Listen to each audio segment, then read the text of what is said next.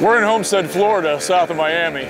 We're headed way off the beaten path looking for peacock bass.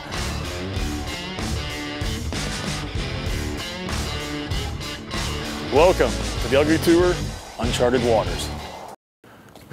Hey, you must be Josh. Think you can lead me to some peacock bass? We can do that, bud. Excellent. I grew up fishing this canal since I was five or six years old. This is home.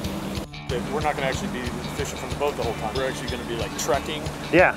The, all these canals have floodgates on them. So we can't take the boat past those floodgates. We're gonna pull up, hop out, walk through the woods, walk down the canal bank, you know, fish some parts of the canal you can't get a boat to. Yeah, this is the floodgate.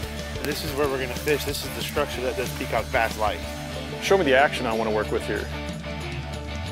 I work the, the plug a lot. Okay. You want that real erratic, wounded, nervous, trying to flee bait fish. Nice. First one of the day, Josh, nice.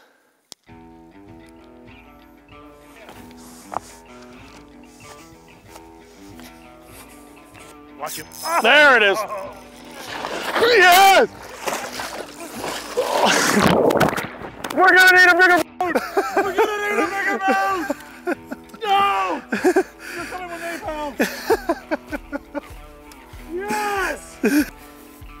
Pretty little guy. Oops. Nice, peacock.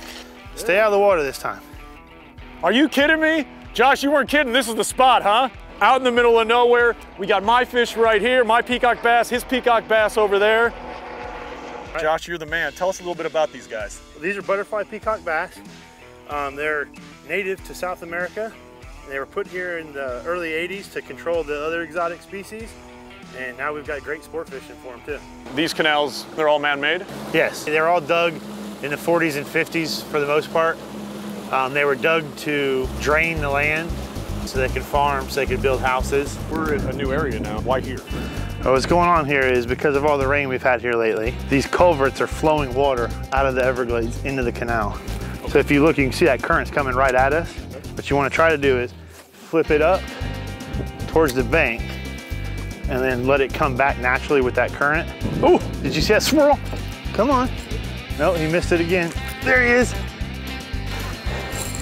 That's what we're after. So this spot right here, huh? Yeah, that's Characteristic of them?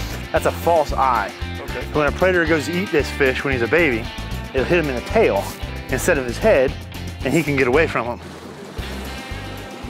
Why do you uh, prefer Ugly Stik?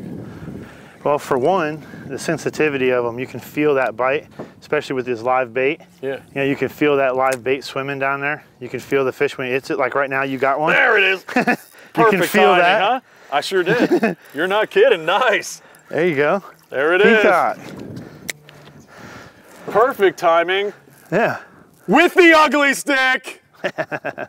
Peacock bass. Hold on a second here. I might be getting bit too. Tell me you're gonna get bit at the same time. It's perfect timing. You got Are you- another one. Nice.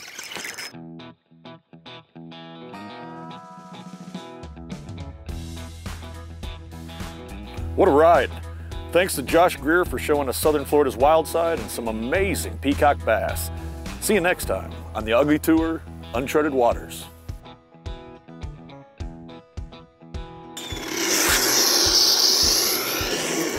Am I okay kneeling down right here? Is Yeah. that all right? All right. If you see a head pop up, it's a good idea to move. Right?